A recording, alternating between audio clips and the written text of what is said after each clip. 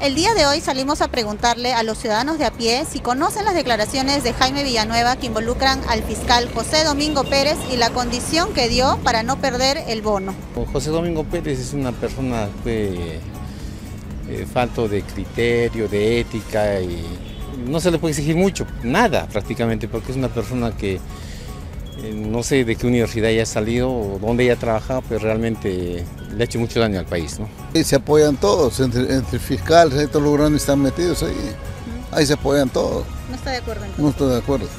Me parece mal porque él siempre también ha, ha, dado una imagen de que él estaba luchando contra la corrupción, pero en realidad se nota que, que básicamente los intereses son más económicos que, que, que perseguir el delito. Que, sí.